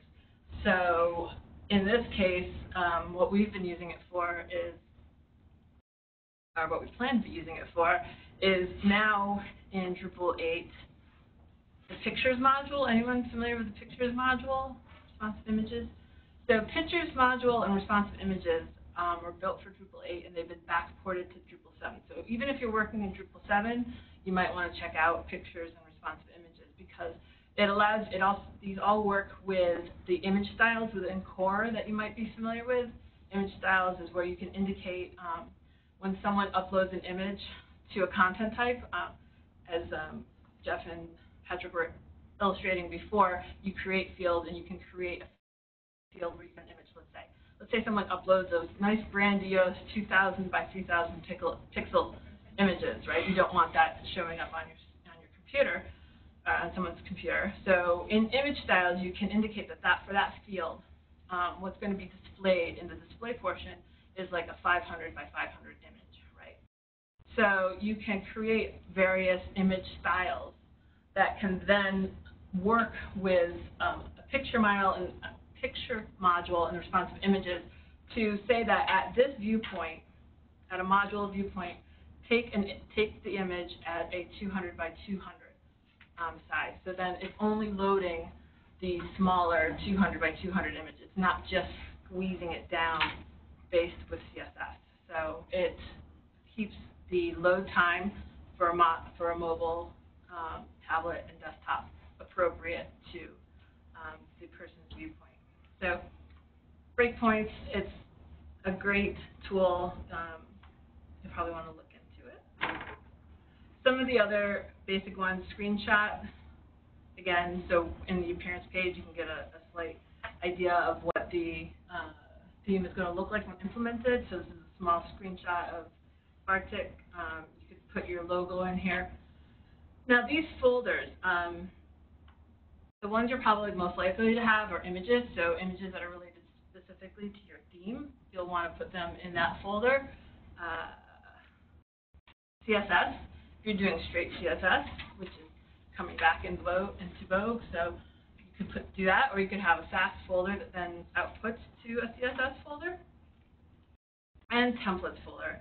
And this is where you would put any template, any Twig template that will override core. So um, Bartik is built on, so by default, Bartik is going to be using any of Classy's templates. So if you go to, I'm in the Classy folder now, if you go into the templates folder, you'll see that there's a lot of subfolders labeled block, content, data set field.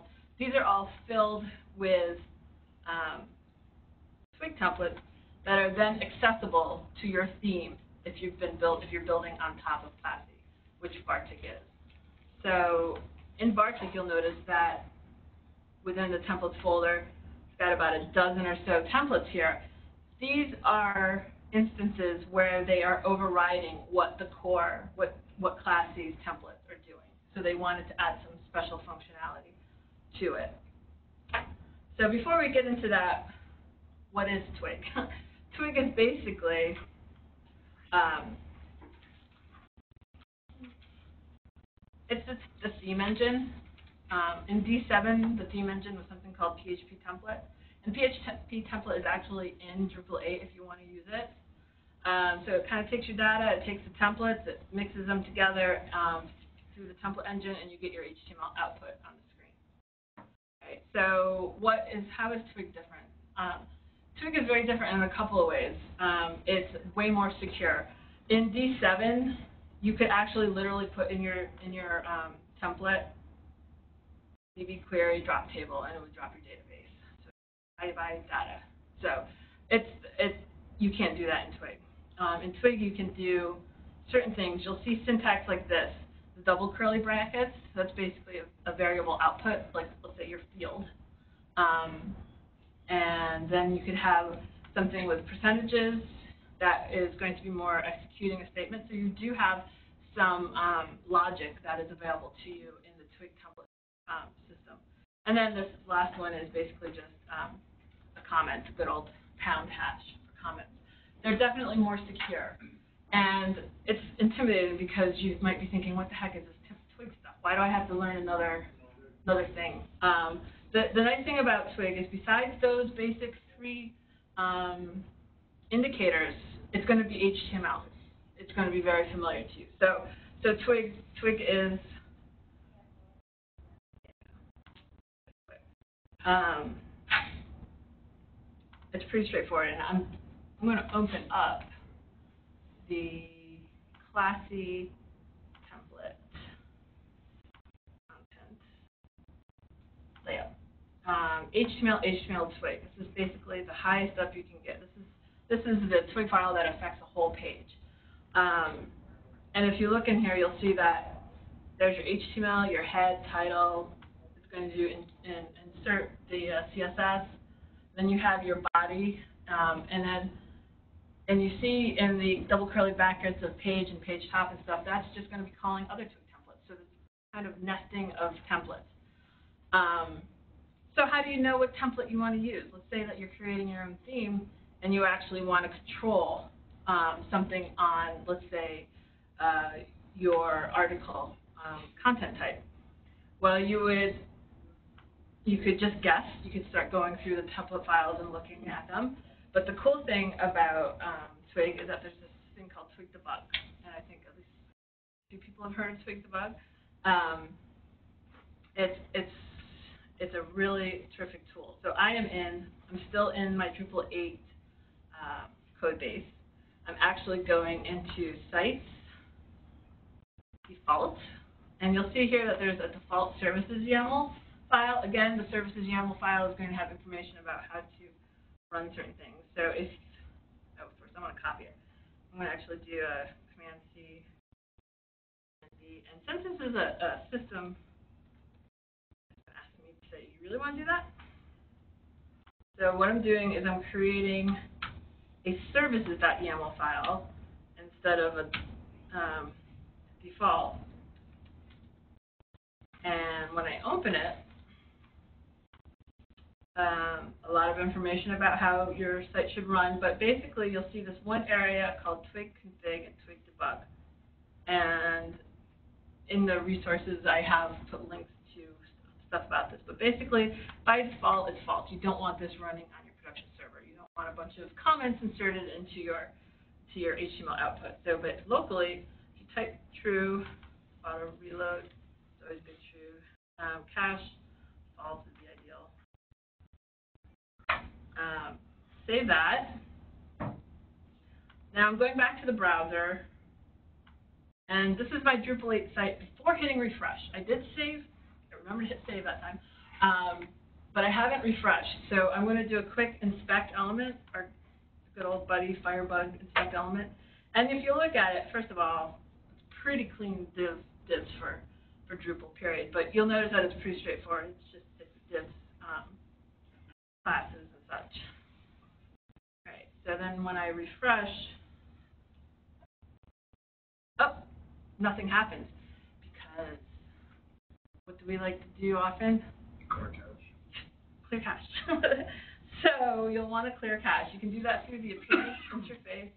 Um, the other cool thing about um, Drupal or Acquia Dev Desktop, this icon over here is going to take you to your command line. So you can also do a drush CR, which is the new, it's not CC and D7, it's CR and D8.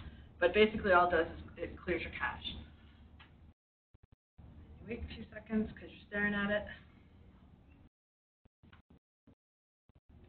Boom. So now when I hit refresh on my page, we see some cool green stuff. And I'm actually going to.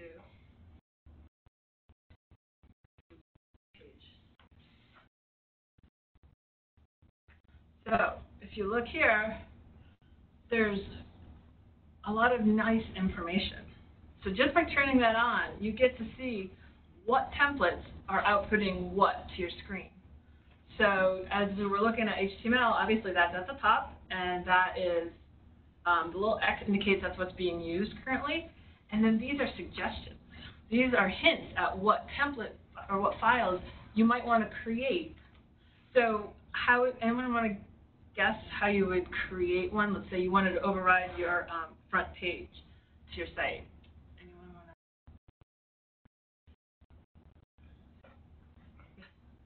to? Just a wild guess. Would I make a copy of the HTML front um, YAML? Uh, the twig file. Uh, Twig, on Twig file? Yeah, Yep, they're all, they're similar, yeah. Yeah.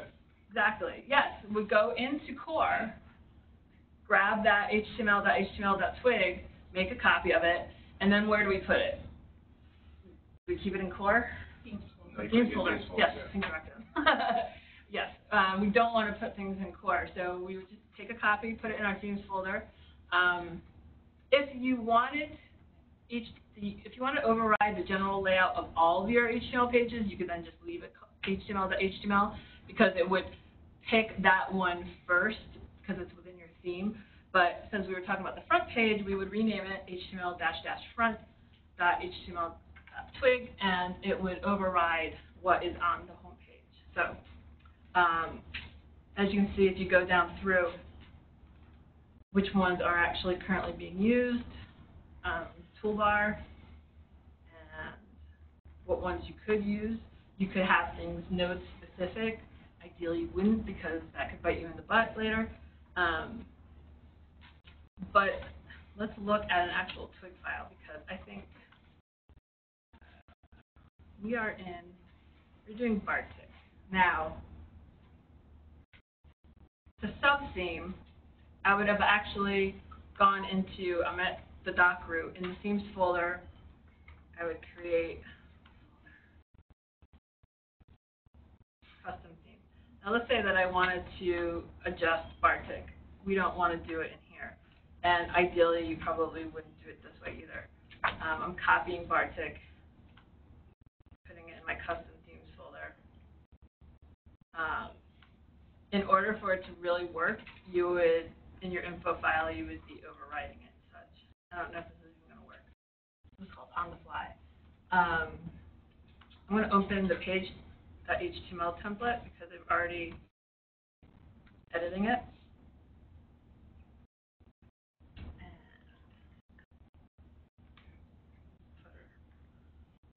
So, this doesn't have any of the in- instances I wanted to.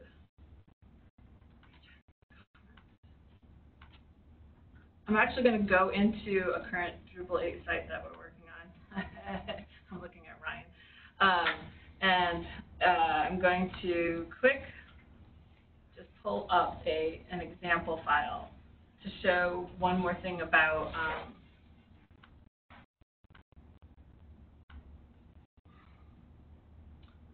custom, about twig templates, which is really neat. And I'm still learning, so take everything I say with a grain of salt. I'm opening, this is a, a field level twig template. Um, and you can see, and this is where kind of going back to, remember we were talking about SMACSS and BEM and some of those um, um, web um, thought processes. They, you can see in the naming convention that that's kind of part of it. So when you're naming things, you want to think about that block level and get down to more specificity um, that helps organize. So at this point, since it's field level, there's a lot of the, um, the statement-based twig things. So it's basically looping through any instances of this field. And what you can do with twig is up here at the top is you can indicate, you can set variables. Um, so what we're doing right now is creating classes. And what we want to do is for every instance of a class, every instance of a field, we want to add a, um, um, a, a- a CSS class to it so that it's able to be themed. And the reason we're doing that is our theme is built off of stable, so there really aren't very many classes in there. So we need things to be able to grab onto and create um, uh, your Sass and CSS for it. So at this top, um, what it is, is it's basically saying, okay, we're going to actually call it, we're going to create classes called keypoint dash dash. And then this concatenates the field name. This keeps it a clean class. Um, if you see a pipe, this is a filter in Twigs. It allows you to create filters to make sure that you have like clean strings or things, um, different, you could do time, um, formatting and things of that nature. So basically what it does is it goes through and it creates um, fields. And we have down here, the one other thing you have to do is you'll notice that within this div, you have the double curly brackets, so this means that it's a variable, it's going to output something to the screen. And what it's going to do is add classes. And it's going to output these, this classes variable that we indicated up here. So it's going to go through and for each item, and in this case, for each um, key point field, it will uh, create that and then add the name of the field and its, its interval um, output. So while Twig files keep you safe from being able to directly affect databases and such, it does allow you to take those fields and manipulate them and get um, the kind of output you may want in order to style the page you need it. So Twig debug is really important. There's also something called Kint, K-I-N-T, which is really cool because then you can actually help you find the variables um, that are being um, that are available to a particular page. You have to install the Devel module and such in order to get that, but it's definitely worth looking into. And my base install, I don't have that. Um,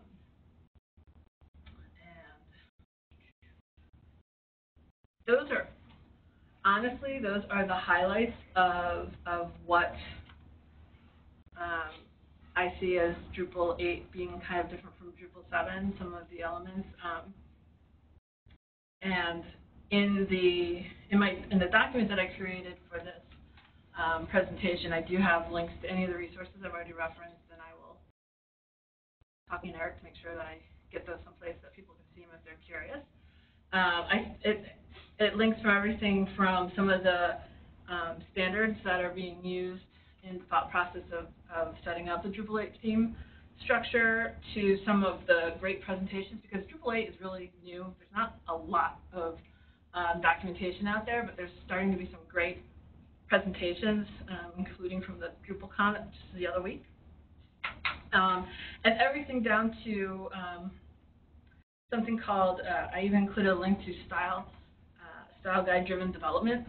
And that's kind of gonna, that's how I'm gonna wrap this around to my own experience because this is based on what we've been learning as we've been working with Drupal 8. And one of the things that we've been doing is doing style guide driven development. Has anyone heard about that or does anyone do it kind of?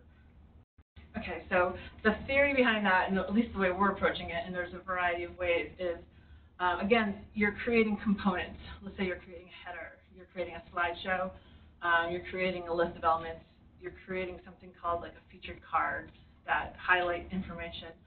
So you want that HTML to be clean and component based, um, as well as the CSS. So there is a style guide that lives within our code base that whenever we make a ch change to the, the Sass files, it also updates the style guide. And we just make sure that the style guide is populated with clean HTML, and it helps us keep the Twig file output clean too, because we then test it in the style guide environment. And it's both a reference for ourselves and um, in the future, the site owners and um, content authors and site builders. Um, but it's also a way of just testing to make sure that we're doing things. So that's um, that's how we're trying to keep things clean and component based and be able to build on things um, as they're they're created. Uh, questions, comments? Because I know we've got a few.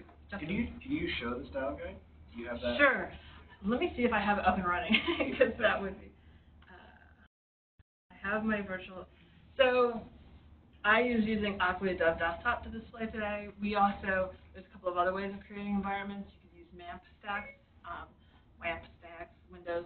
You can also popular these days is virtual um, machines, and there's a Drupal VM Sorry, I that that. is very um, powerful. So that's what we're doing, and question is, how, what is,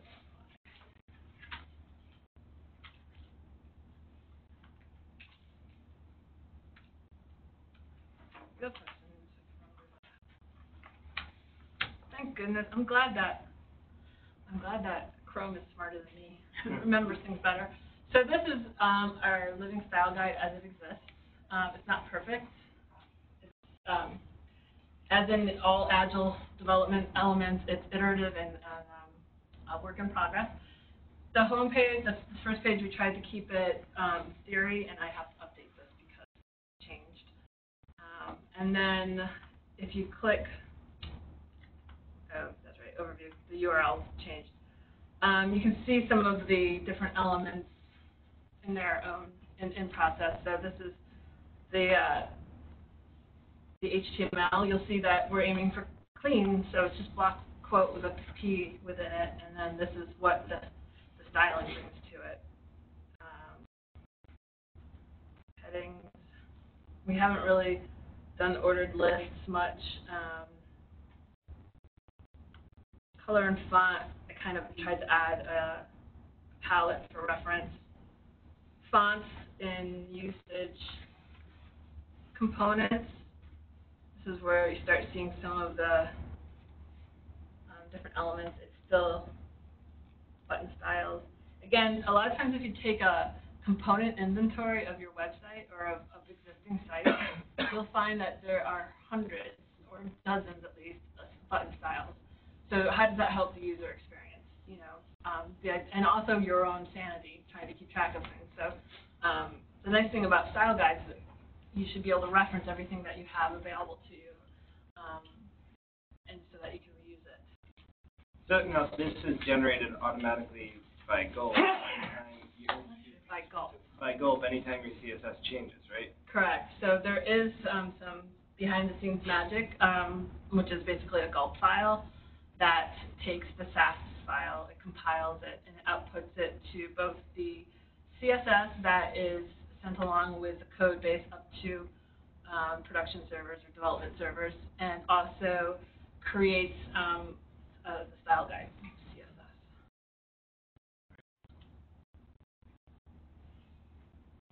Any other questions, comments, thoughts? Meredith, have you worked with uh, Drupal console yet at all? Drupal console. Um, excellent question. A little. I think it's amazing. I used it. I did a module, and I used it to create the bare bones outline of the module, and it's it's terrific. Now Drupal console is, gosh, so it kind of works alongside Composer and things. Um, it's new. Um, it only works with Drupal 8, I think.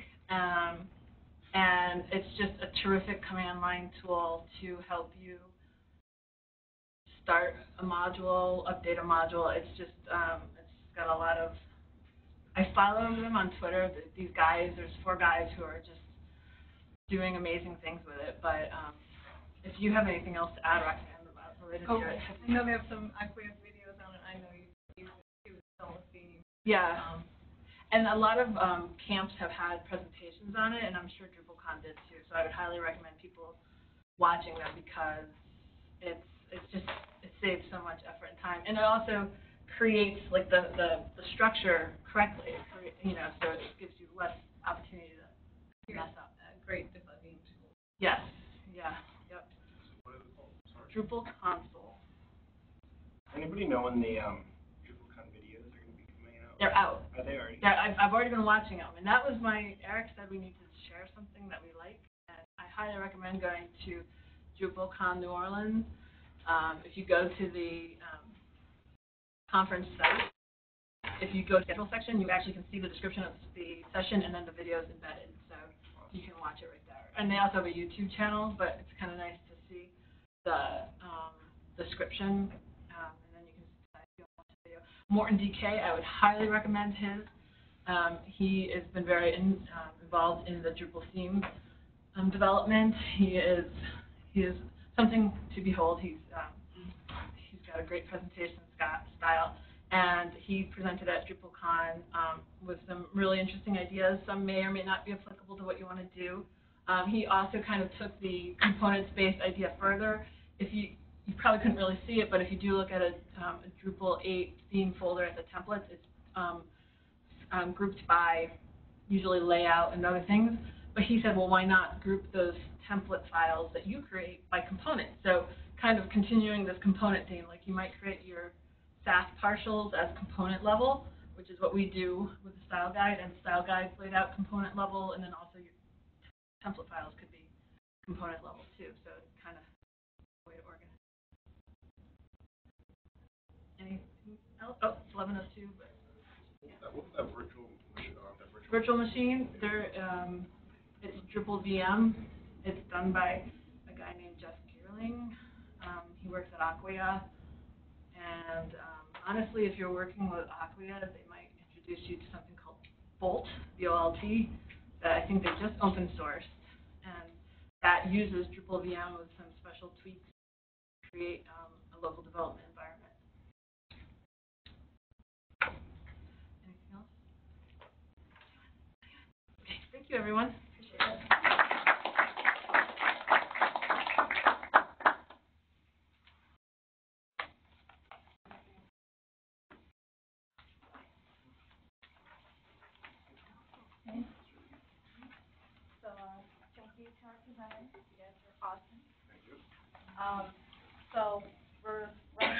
of time but really quick picks of the month, I'll start it off, um, GistBox, really cool, it's an awesome way to organize and share code and collab with your team.